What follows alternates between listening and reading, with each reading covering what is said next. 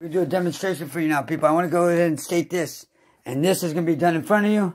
And why it's going to be done in front of you so you can see the manipulation within their own selves and their own selves alone. But them out there on the news, high and mighty on their pale horse. But the pale one is only them. And not understanding what they did was not only disrespect our USA, but sold us out to death.